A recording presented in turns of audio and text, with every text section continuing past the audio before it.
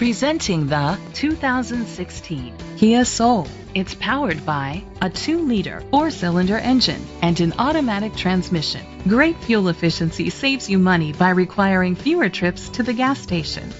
The features include electric trunk, an alarm system, keyless entry, independent suspension, brake assist, traction control, stability control, anti-lock brakes, hill start assist, privacy glass. Inside you'll find Bluetooth connectivity, Sirius XM satellite radio, an auxiliary input, curtain head airbags, front airbags, side airbags, side impact door beams, child safety locks, iPod integration, a trip computer.